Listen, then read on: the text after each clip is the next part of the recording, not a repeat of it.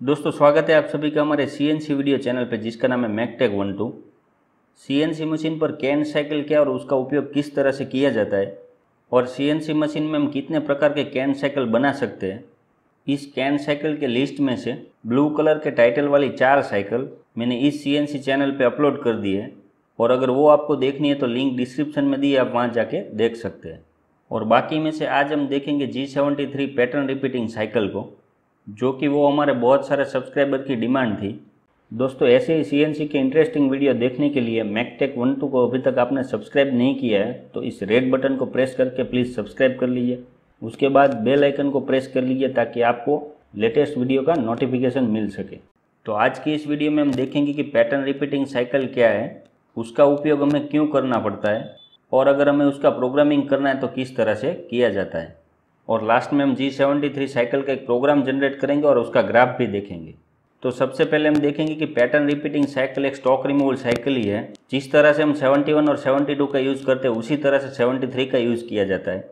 यानी कि हम 73 पैटर्न रिपीटिंग साइकिल को आईडी और ओडी दोनों में यूज़ कर सकते हैं। पर सबसे पहले हम ये देखेंगे कि अगर G seventy stock removal cycle है तो फिर जी सेवेंटी वन और सेवेंटी थ्री में क्या डिफरेंस है? तो सबसे पहले मैं यहाँ पे एक फिनिश जॉब का ड्राइंग दिखा रहा हूँ। और अगर टर्निंग में हमें कोई ऐसा शेप बनाना है, और हमारे पास रो मटेरियल डाई 120 mm का है, और लेंथ हमारी 105 या तो 110 mm है तो हम इस जॉब को स्टॉक रिमूवल के लिए जी सेवेंटी साइकिल का यूज़ करते थे। और स्क्रीन पे जिस तरह से मैंने ड्राइंग दिखाया, उस तरह से जी सेवेंटी साइकिल में हमारे रफ कट लगते हैं। पर अगर हमारे पास सॉलिड मटेरियल की जगह पे इस तरह से जॉब का कास्टिंग या तो फोर्जिंग किया हुआ है, जो कि हमारे फाइनल शेप से पाँच एम भारी है यानी कि पर साइड ढाई एम मटेरियल स्टॉक दिया गया है। और अगर ऐसे कास्टिंग या तो फोर्जिंग में से हम जॉब को फिनिश कर रहे हैं तो हम इसके लिए क्या करेंगे? G seventy one stock removal cycle का यूज़ करेंगे। पर उससे एक प्रॉब्लम होगा जो कि मैं यहाँ पे दिखा रहा हूँ आपको। अगर हम stock removal cycle seventy one का यूज़ करते हैं तो इस तरह से कुछ मशीन सारे कट को कैलकुलेट करेगा।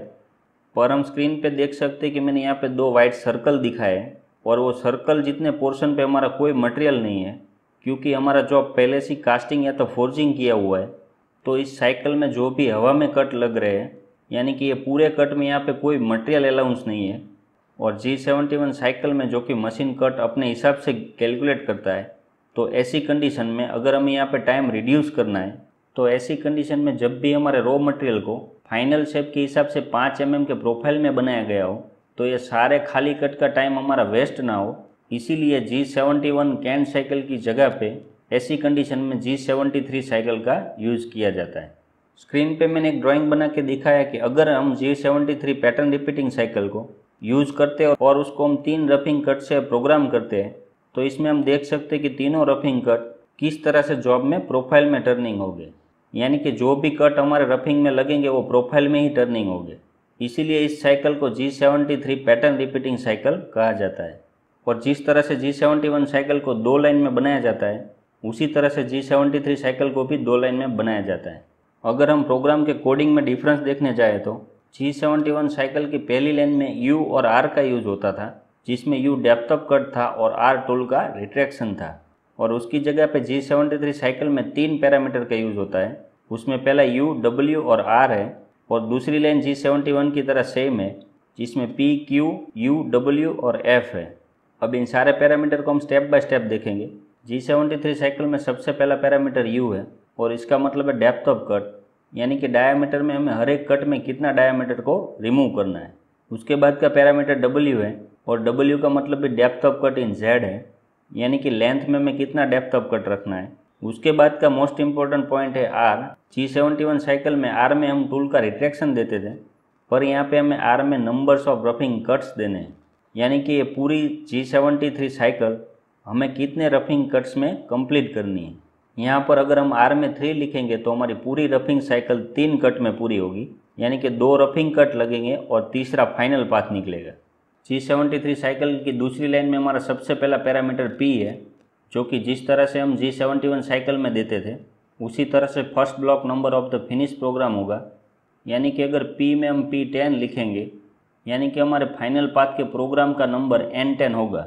उसी तरह से अगर क्यू में हम ट्वेंटी लिखेंगे तो हमारे फाइनल पाथ के प्रोग्राम की लास्ट लाइन का नंबर जो भी होगा, वो एन ट्वेंटी होगा।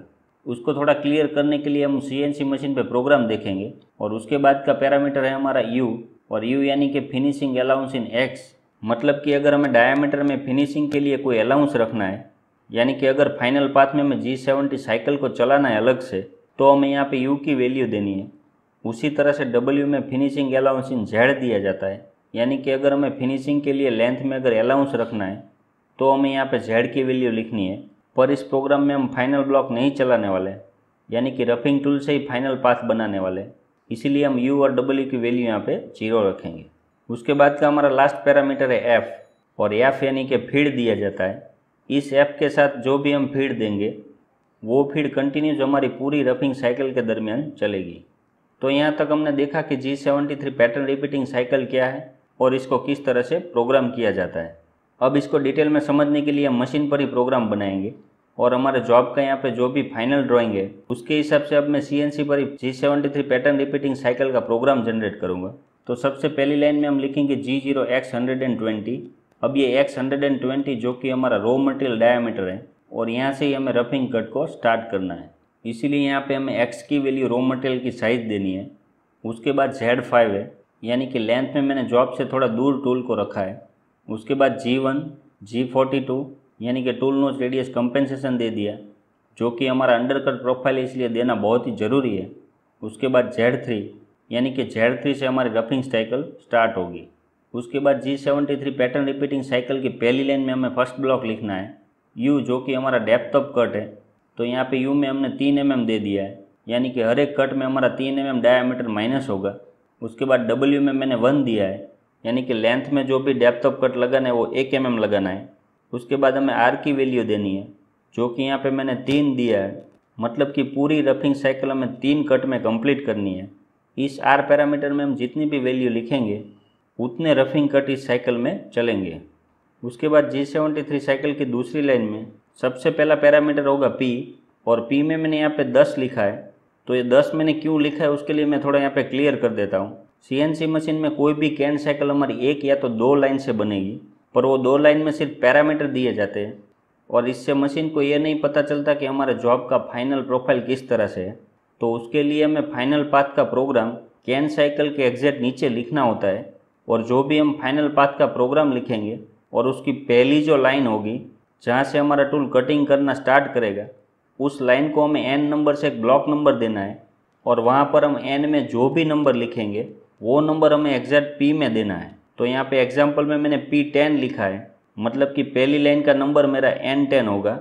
उसी तरह से दूसरे पैरामीटर में क्यू दिया जाता है और क्यू में भी हम जो भी नंबर लिखेंगे, वो हमारे फाइनल शेप के प्रोग्राम की लास्ट लाइन का नंबर होगा। यानी कि अगर क्यू में मैं यहाँ पे ट्वेंटी लिखूँगा तो हमारी लास्ट लाइन का नंबर एन ट्वेंटी होगा। उसके बाद का पैरामीटर है यू और यू में हमें फिनिशिंग अलाउंस डायमीटर में देना है। अगर हम लास्ट में जी सेवेंटी फिनिशिंग साइकिल चलाने वाले तो ही यहाँ पे यू में एक्स का अलाउंस और डब्ल्यू में लेंथ का अलाउंस दिया जाता है।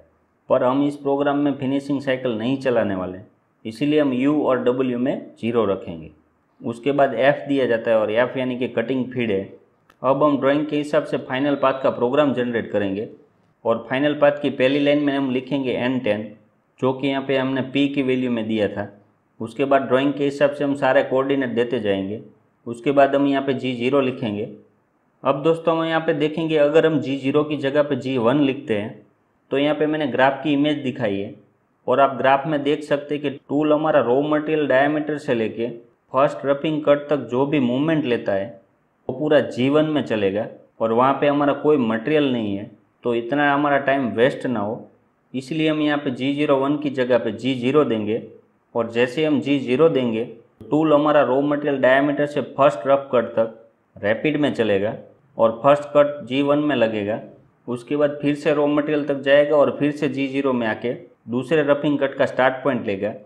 उसके बाद हम एक्स सिक्सटी लिखेंगे और जेड ज़ीरो लिखेंगे, जो कि हमारे जॉब के ड्राइंग का पहला कोऑर्डिनेट है। उसके बाद स्टेप बाय स्टेप हम सारे कोऑर्डिनेट ड्राइंग के हिसाब से प्रोग्राम करते जाएँगे और प्रोग्राम की लास्ट लाइन में हम एन ट्वेंटी लिखेंगे, क्योंकि हमने क्यू की वैल्यू में ट्वेंटी दिया था तो ये ब्लॉक का नंबर हमारा एन ट्वेंटी होगा और उसके साथ हम एक्स हंड्रेड एंड फिफ्टी लिखेंगे, जो कि हमारे जॉब का सबसे बड़ा डायामीटर है।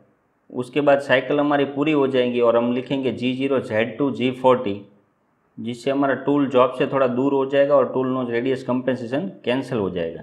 उसके बाद हम होम पोजीशन देके टूल को बाहर निकाल लेंगे। अब हमारा G seventy three pattern repeating cycle का प्रोग्राम रेडी हो गया है। अब हम मशीन पर उसको रन करके देखेंगे कि जी सेवेंटी थ्री साइकिल हमारी किस तरह से वर्क करती है। सबसे पहले टूल ने पोजीशन ली हमारे प्रोग्राम के हिसाब से एक्स हंड्रेड एंड ट्वेंटी और जेड फाइव उसके बाद G seventy three cycle run होगी। और हम यहाँ पे देख सकते हैं कि सबसे पहला कट उसने लिए एक्स में सिक्सटी सिक्स यानी कि फाइनल डायामीटर हमारा सिक्सटी है। और हमने आर यानी कि नंबर ऑफ़ रफिंग कट में दिया है तीन और डेप्थ ऑफ़ कट हमारा तीन एम mm है तो साठ के डायमीटर में हम तीन तीन एम mm दो बार प्लस करेंगे क्योंकि हमारे दो कट अभी बचे हैं तो वो होगा सिक्सटी सिक्स एम mm, जो कि हमारा पहला रफिंग कट होगा। और हम यहाँ पे ग्राफ में देख सकते हैं कि एक्स हमारा सिक्सटी सिक्स हमें दिखा रहा है। उसके बाद जिस तरह से हमने प्रोग्राम किया है उसी शेप में जी सेवेंटी थ्री साइकिल में रफिंग कट चलेंगे। जैसे ही पहला रफिंग कट पूरा होता है उसके बाद तीन एम का दूसरा रफिंग कट निकलेगा और वो भी पूरा प्रोफ़ाइल में ही चलेगा। फिर उसके बाद तीसरा यानी कि फाइनल पाथ निकलेगा और ड्राइंग के हिसाब से पूरा हमारे यहाँ पे फाइनल पाथ टर्निंग होगा। तो इस तरह से पाँच और छः एम के कास्टिंग या तो फोर्जिंग के रॉ मटेरियल को दूर करने के लिए, जो कि पहले से जॉब में प्रोफ़ाइल में बना हुआ है, और अगर हम जी सेवेंटी वन साइकिल को चलाएँगे तो सारे कट में हमारा टाइम बहुत ही वेस्ट होगा। तो टाइम को बचाने के लिए इस G seventy three pattern repeating cycle का यूज़ किया जाता है। और यहाँ पे हमने देखा कि पैटर्न रिपीटिंग साइकिल क्या है और वो किस तरह से बनती है और उसका प्रोग्राम कैसे बनता है और उसका ग्राफ भी हमने जनरेट करके देख लिया है। तो दोस्तों, इसके रिलेटेड अगर आपको कोई सवाल हो तो आप हमारा टेलीग्राम ग्रुप ज्वाइन कर सकते हैं या तो हमें कमेंट कर सकते हैं। और आने वाले वीडियो में हम बाकी की कैन साइकिल भी देख लेंगे। और अगर आज का ये वीडियो आपको अच्छा लगा तो लाइक करना बिल्कुल ना भूलें। और आज का ये वीडियो देखने के लिए धन्यवाद।